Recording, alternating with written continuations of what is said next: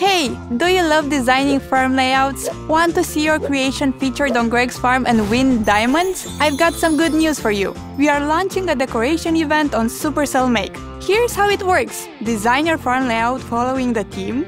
This time, it's all about autumn. To create a farm layout, use the decorations you've collected in your inventory. Don't forget to use the edit mode found in the settings menu and the new scenic mode. Next, you have to submit your design. Head to make.supercell.com, log in with your Supercell ID, and create a Make user account. Once you're set up, click the Upload button, select the Hay Day Autumn Farm Designs campaign, and read all the instructions and rules. Your submission should include a screenshot of your design, a thumbnail which is a square version of your screenshot, a title, and a description.